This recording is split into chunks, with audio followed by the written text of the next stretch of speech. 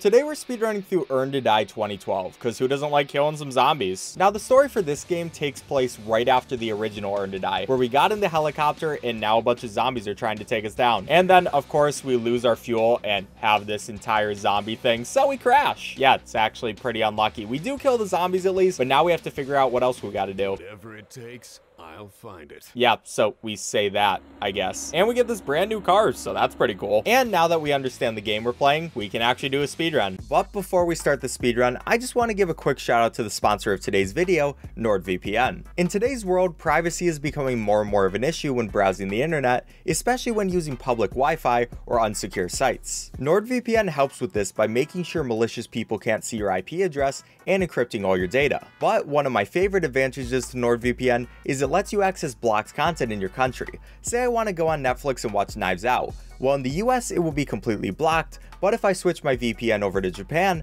I can watch all I want. And the cool thing is, there are tons of different places you can virtually go to. Everywhere on the map has different NordVPN spots. There are actually over 5,200 servers in 59 different countries, so you have a lot of options. NordVPN is a service that I used even before being approached by them, so definitely check out the link in the description to get 73% off their 2-year plan with an additional 4 months for free. And then, if you don't end up enjoying NordVPN, you have a 30-day money-back guarantee. Thanks again NordVPN for sponsoring this segment of the video, and enjoy the speedrun. So I'm going to start my speedrun as soon as I click on play. Right away, we can skip this first cutscene, and we can go into the garage, because we're going to get our first car. We can't do too much to upgrade it right now, though, so we kind of just have the regular car, and we can kill some zombies with it. Of course, with Earn to Die, the way to play this game is every single day you go a little bit farther. So for this one, I can buy some better wheels, increase my fuel a little bit, and now my car is going to be better at going farther. On the top, that's how far we make. We want to get to the end of the line, and once we make it there, we get on to our next part. So I can keep going through, killing all these zombies, and yeah, they just kind of die until I'm out of fuel, and we have to go back to the garage. For this one, I'm going to go to the engine, upgrade that one, and get a tiny bit more fuel before going into the next day, where it's pretty much the same thing. We're just going through, killing some zombies, but this time more efficiently. So every time you upgrade, of course, things are going to be much more efficient, and yeah, just much easier to kill them. We get further, we got to those boxes, that's the first time we did that, and we can just keep going back, and this time we're going to buy a boost. Now, the boost is one of my favorite things in this game, because it just lets you go so much faster. It also makes your zombie killing so much better, so that's pretty great as well. And of course, that's going to help us get to these boxes, and yeah, it's just even farther. Now, our next thing we're going to do is upgrade our gearbox so we can get that, and upgrade our boost just a tiny bit, so we're going to be able to go even farther. And yeah, you probably get the premise of this game. We're just trying to go farther and farther each time. These zombies are really trying to stop us. I'm not sure why it's the exact same zombies in the exact same place every single time, but it doesn't matter because I will kill them every single time. So now we move on to the final upgrades of this little part. We're going to upgrade that and our fuel a bit. And at this point, it's pretty much just time to grind because as you go through, you can buy better and better cars. We just have our starting car. And of course, it's not going to be the best. But once I get $500, we can buy our next car and that's just going to be way better. So I'm going to try to go as far as possible to get as much money as possible. And we're just going to keep grinding this until we make it up to $500. I want to be as efficient as possible because the farther I do make it, the more money I'm going to get out of each and every run. So if we want to go fast, we want to make it this far. And once we do, we get all that money. That was like a $100 run right there. If we get a few more of those, we should be able to finish this part of the speed run pretty quickly. At least I'm hoping so because going through the exact same part of the game over and over isn't the most fun in the world. But hey, I'll return once we're done with this first grinding section. And finally, we should be able to unlock our car after day 11. And this one's just going to be much better. Once you buy a new car, it's pretty much always going to be better than the last one, even if you put a ton of upgrades into it. I mean, you can see we have no boost, we have no upgrades at all, and it's just making it through everything so easily. And that's the beauty about this game. You just get better cars and they completely destroy everything your old car could do. But we're just going to keep making it through, go into spots that we have never made before. You can see my arrow for our last run, and we did not make it anywhere close to this amount of distance. Finally, we do run out of fuel, so that does kind of suck, but now we can just buy some more stuff. And for this one, what we're going to want to do is get a wheels upgrade, and we can also get a bit of fuel because we're going to need to use that later, so we might as well do that right now. And with the wheels, this car becomes even better because you can see we are going so fast. Wheels upgrades are definitely my favorite upgrades in this game, just because it feels so good once you get that wheels upgrade. You're going so fast, you're killing so many zombies, and nothing can really stop you, except explosions. I guess those can kind of stop you, at least for a second, but I mean, we made it through. And this really is where the game starts getting a lot more fun because there are so many more boxes that we go through, so many more things we start destroying, and we're really making it to farther distances, which is always going to feel good. We almost made it to the end of this one, we just have to go back in the garage. And this time we're going to upgrade the engine. We have enough money for that. And we'll also upgrade our fuel a bit and go on to the next one. And the engine plus the wheels, this just makes this car so much fun. I love how all these zombies come back every single day thinking that they're going to have even a chance at killing me. But then I just run over them repeatedly and they die. It's kind of a sad reality for them, but I'm not going to feel bad at all. I mean, they literally dragged down my helicopter at the beginning of this game. Why would I feel bad? But that next run is going to get us extremely close to the end of the game, but of course we don't make it. So what I'm going to want to do here is upgrade my fuel all the way, and maybe we might be able to make it to the end. At least we're hoping, but we're never sure if that will happen or not. If all things go perfect, we should make it to the end this day, though. I mean, I did upgrade the fuel a ton, so I really hope it'll make it to the end. Otherwise, my speedrun might kind of be messed up. But we're getting these superb shots, getting money off of each and every single one of those, going through these zombies. You know, it's just normal stuff. After playing this game so much, you just get used to the bloodshed. It just kind of happens. But it looks like we're going to have more than enough fuel to make it to the end, so that's really good. We're done with the first area. There are three total areas within this game, so we make it to this next rest stop and can move on to the garage because now we're in the Red Canyon. So for this one, what I'm going to want to do is upgrade my gearbox, and we're back to a grinding section. We'll just be grinding this out until we can get our next car. This section is also really fun because there are a lot of jumps, a lot of zombies to kill. We get a nice awesome right there, and then an uphill battle, so that isn't the best. And you also get these runner zombies, which are going to run after you. Look at this guy. Look at those hops. How did he do that? Yeah, those guys are kind of impressive. So they are going to be a bit annoying, but then we can just hit them there, and his arm rips off, so that was kind of hilarious. So at the very least, this little grinding section is going to be a very exciting one. And it is the last grinding section as well, so it's not too bad. We get that gigantic jump. We get to do that over and over again. And we're going to be grinding until we get to $2,500 because that will let us buy our last car, which is going to be a bus. Yeah, I don't really understand why a bus would be effective at this. I feel like it's a little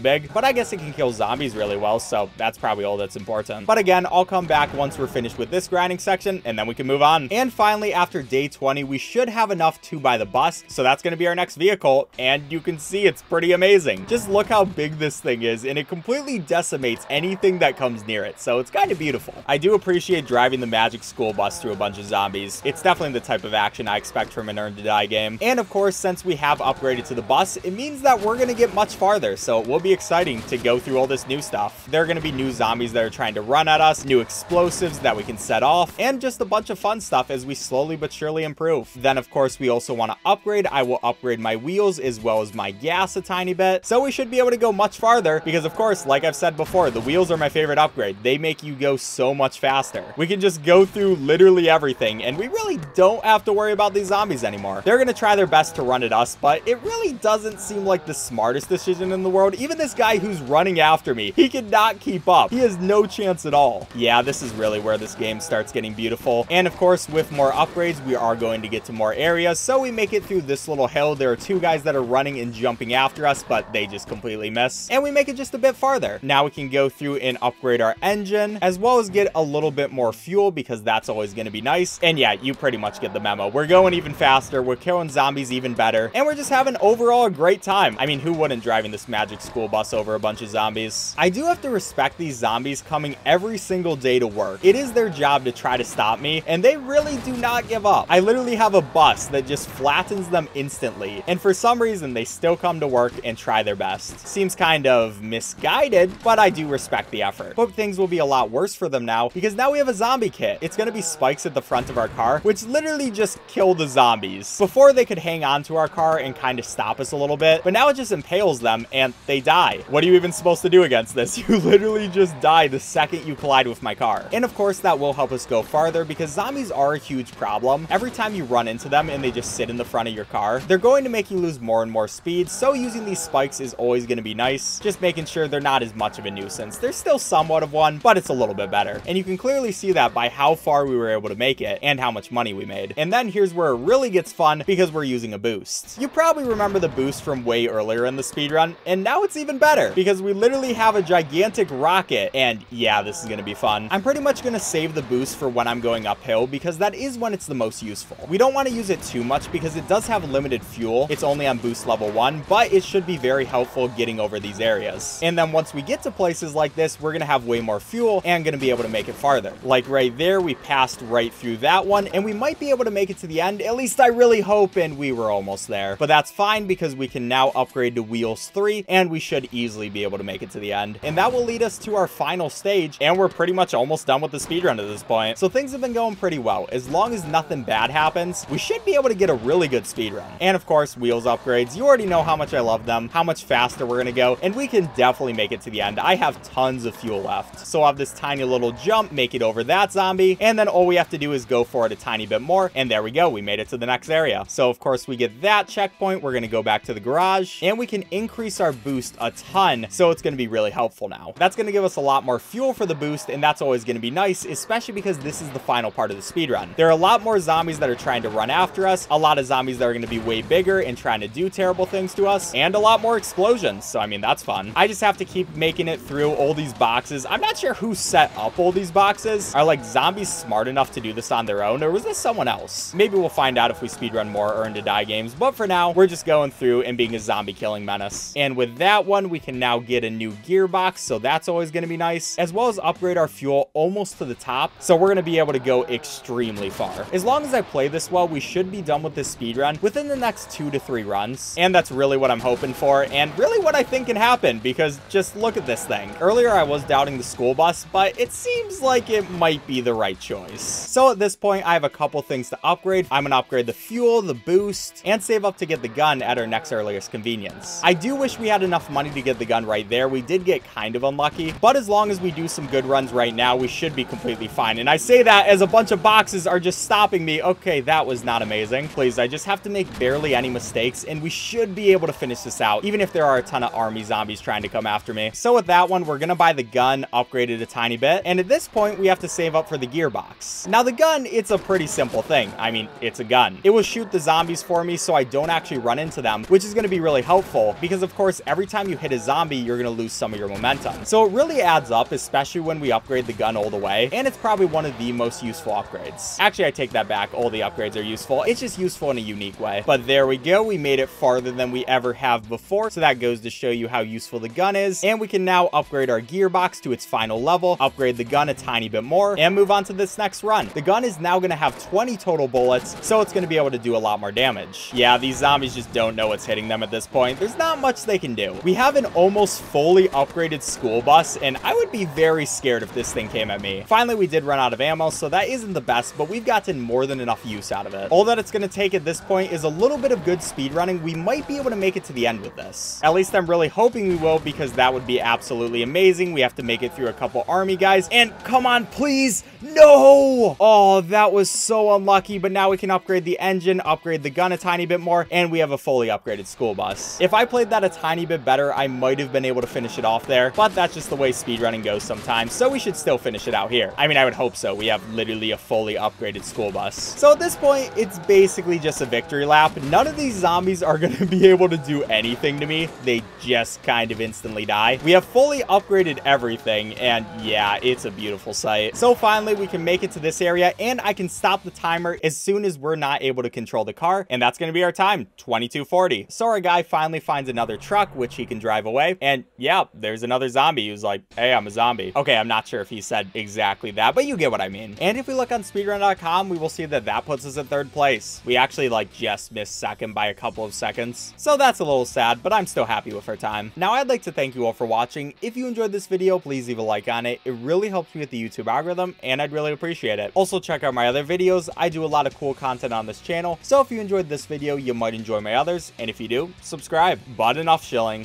Thank you all for watching. I'll catch you next time.